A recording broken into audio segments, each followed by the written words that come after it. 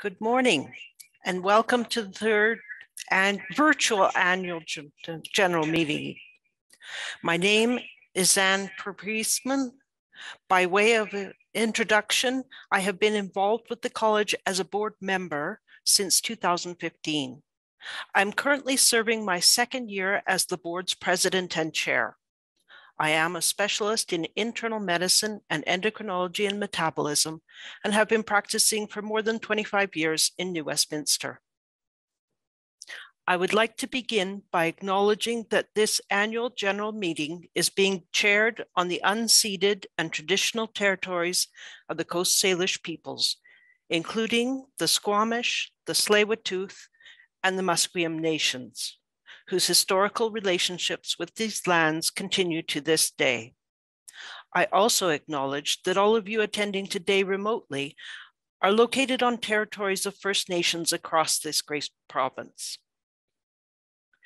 Participating with me today during these proceedings are Dr. Heidi Oetter, Registrar and CEO, Mr. Graham Kierstead, Chief Legal Counsel and Deputy Register of Legal, and Mr. Mike Epp, Chief Operating Officer. I will now call the 2022 general meeting to order. I declare that we have a quorum of registrants in virtual attendance and that we are duly constituted for the transaction of our business today, which includes adoption of the minutes for the annual general meeting on September 24th, 2021, presentation of the board approved audited financial statements for the period ending February 28, 2022, appointment of the auditors for the current fiscal year, an in memoriam for registrants who passed away during the fiscal year March 1, 2021 to February 28, 2022, my president's report, and other business and questions from registrants, after which we will conclude this annual general meeting. For those of you joining by video, if you have a question during the proceedings, please use the Q&A feature found on the ribbon at the bottom of your screen. You can ask questions at any time, and we will answer them when we get to other business.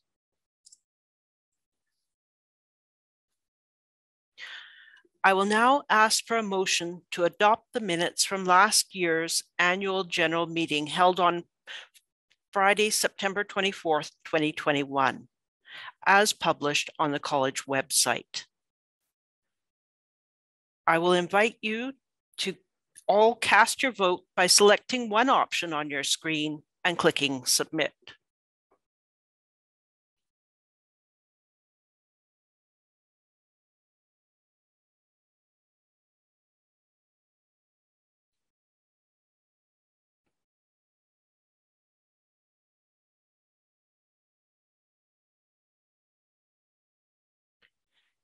Here are the results. 85% have approved the minutes.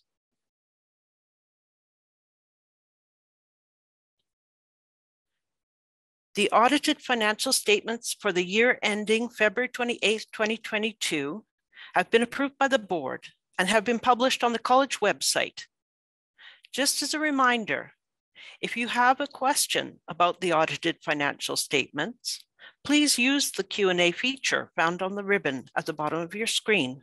We will answer when we get to other business.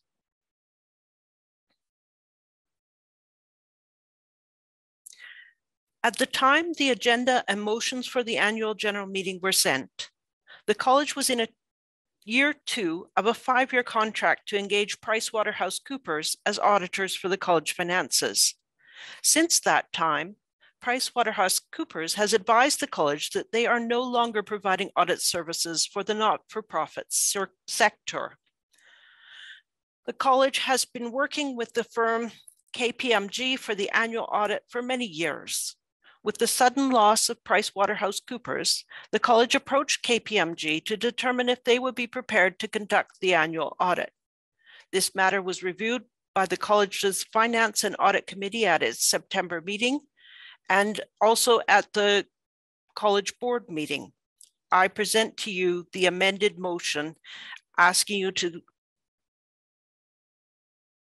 to appoint the firm KPMG LLP as auditors for the current fiscal year. I invite you all to cast your vote by selecting one option on your screen and clicking submit.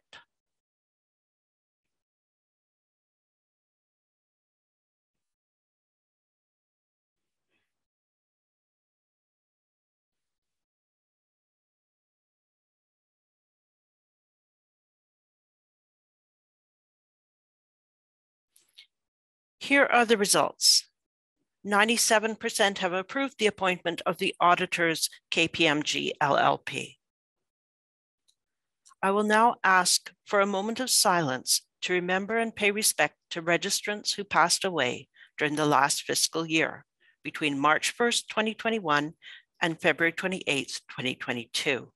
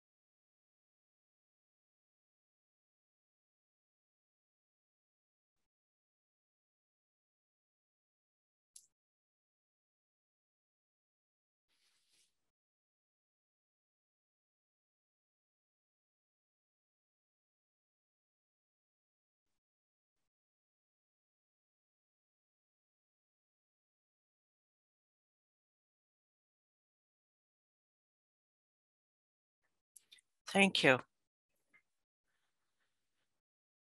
I want to begin by recognizing and commending the unwavering commitment of college registrants to care for their patients during the COVID 19 pandemic and acknowledge that the medical profession has been stretched thin during this unprecedented time. I also want to acknowledge that we are facing a critical access issue when it comes to primary care. And I know that family practitioners are doing their best to provide that care to their patients. Finding a quick win to this complex situation is not easy, and it will require the input of many organizations and governments across jurisdictions. I'll speak more about this shortly. And of course, we are acutely aware of the opioid crisis continuing to rage in BC and across Canada, which has had a devastating impact on so many patients and their families. This reality requires us to pause and reflect, to consider our priorities and remember what is most important to us as medical professionals caring for our patients, and also as individuals with friends and family, all of whom are affected in some way by the world in which we are living. Thank you for your continued resilience. Against this complex backdrop, the statutory obligations of the regulator do not cease, and patient care remains the foundation of the work that we all do. For the college, this means being mindful of our role in ensuring the public is receiving safe, competent care from registrants. We continue to register and license qualified physicians to respond to patient complaints and take the appropriate action, to administer quality assurance and accreditation programs, and to develop standards to ensure professionalism in medical practice. But the college's right touch approach to regulations means that we are proportionate in how we conduct our business. Right touch regulation means we intervene when necessary, and the steps we take to address a situation are appropriate to the risk posed. We are consistent in our approach and our decisions. Rules and standards are aligned and fair. We are transparent and accountable, and the actions we take are justified and can withstand public scrutiny. And finally, we are agile. We know that the world around us is rapidly changing.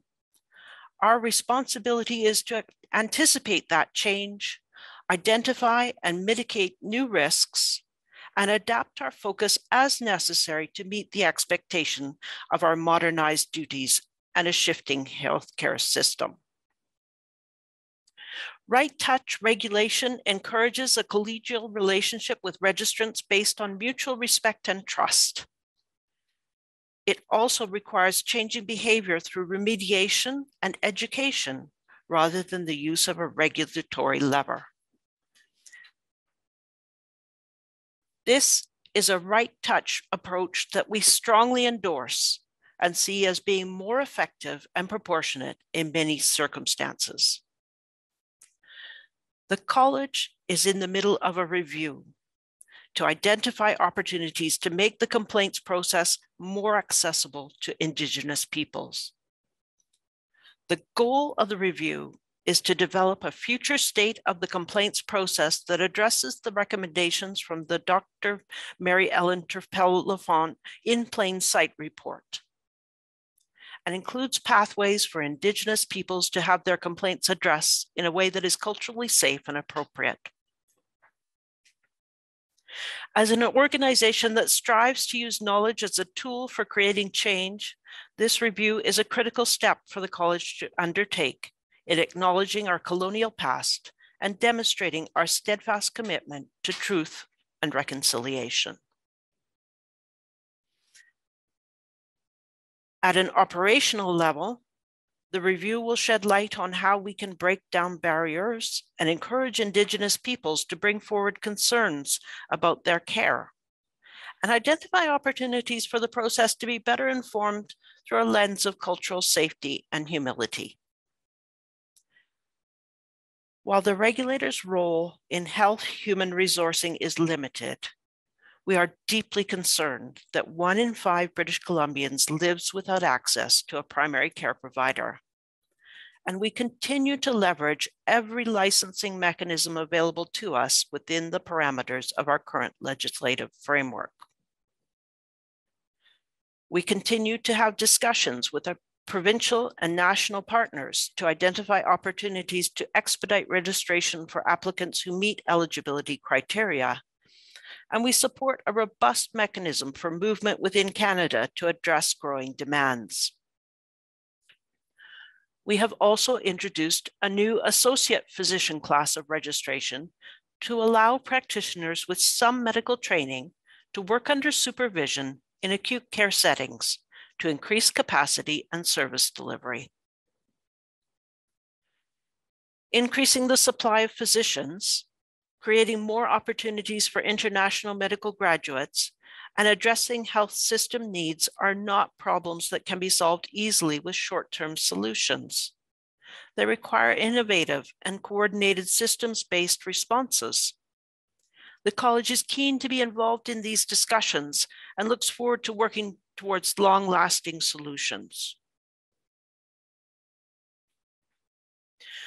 I would like to focus now on the development of practice standards which is a statutory requirement of the college under the Health Professions Act. We acknowledge that the volume of new or revised, revised practice standards over the past three years has increased compared to other years, and some registrants have expressed concerns that adhering to expectations contained in college standards has placed undue pressure on their already busy lives. Many of the revisions to existing standards or the introduction of new standards these past two years came about because of the pandemic, which brought to light several important patient care matters that needed to be addressed immediately. While all practice standards are reviewed on a four year cycle to ensure they remain current and relevant, the social landscape is not always predictable which makes it difficult to determine when a just-in-time regulatory response may be required. Standards address issues such as social justice, health equity, and patient care. These issues are identified through our complaints process from other jurisdictions, from public interest issues in the media, or from government reports on health system matters. Standards are drafted with input from registrants through a voluntary consultation process. We appreciate hearing from you and value your feedback. A registrant's compliance with college standards inevitably reduces the risk of an interaction being brought to us as a complaint. To that end, the college expects registrants to use and trust their own professional judgment in applying standards in their practice, and to seek out necessary supports to arrive at a solution and plan of action. Over the next two years, we will be increasing our efforts to make our standards more accessible and to support registrants in applying them through use of online learning courses and other interactive resources. You can watch for an announcement shortly about the launch of the first series on, of online courses addressing three practice standards that frequently elicit questions. The times we are in may be extraordinary, but if the past year is any indication, I believe we have developed a collective resilience to overcome whatever uncertainty awaits us. The health system is undergoing unprecedented changes, and we have a tremendous opportunity to work together with our provincial and national partners to shape the future together. Thank you for being with us today. That concludes my report.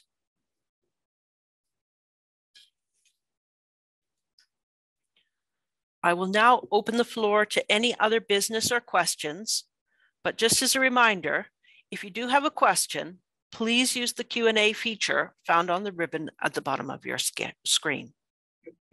And Susan Prinz is going to help moderate the questions.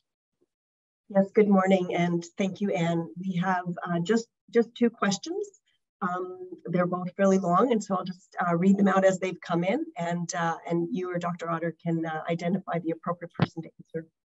In the event that a registrant at the college wishes to raise a concern about the contact, conduct of another registrant, does the college offer any kind of whistleblower protection or support for registrants who might otherwise be targeted as a result of raising these concerns?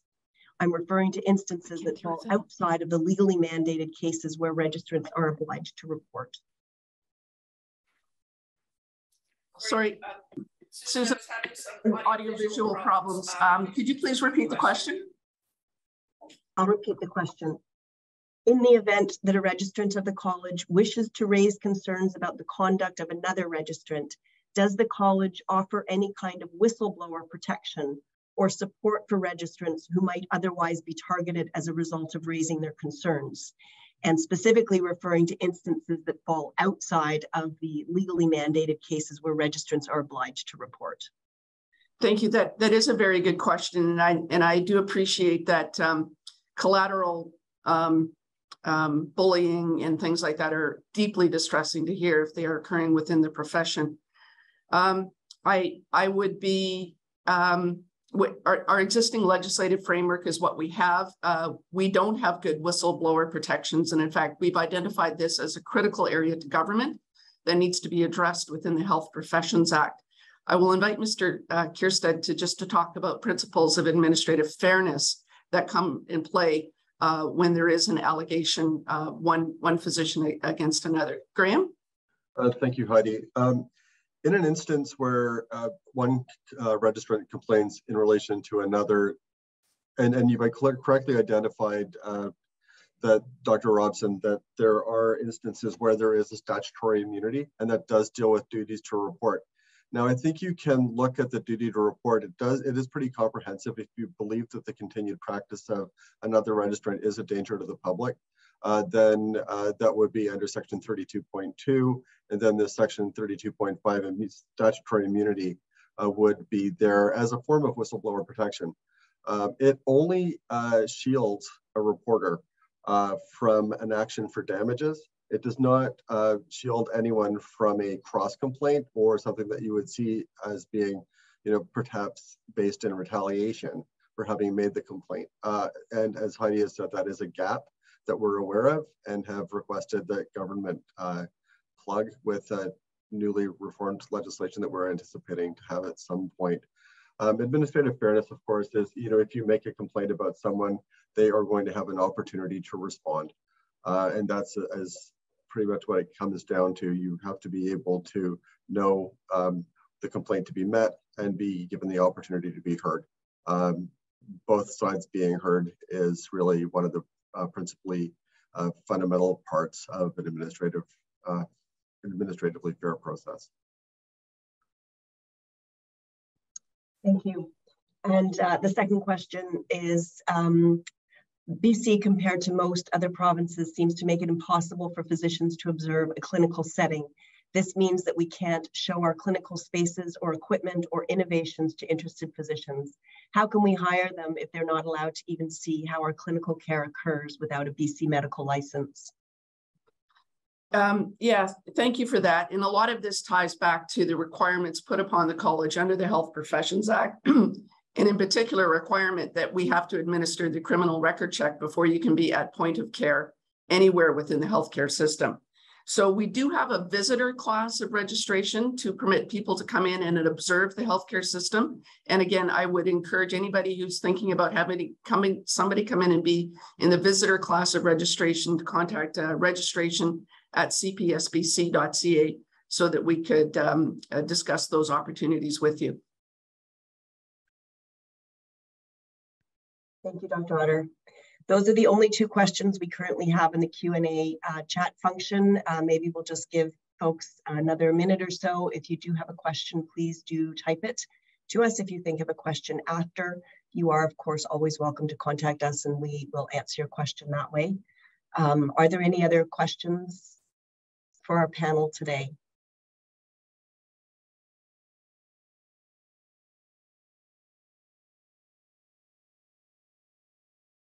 Dr. Priestman, Dr. Oetter, I'm not seeing any further questions coming in, so I will uh, turn it back to you. Thank you, Susan. Um, we will now co conclude the 2022 annual general meeting and thank all of you for joining us at this virtual meeting today. The minutes from this meeting will be posted on the college website. Have a good day and please continue to stay healthy and safe. Thank you.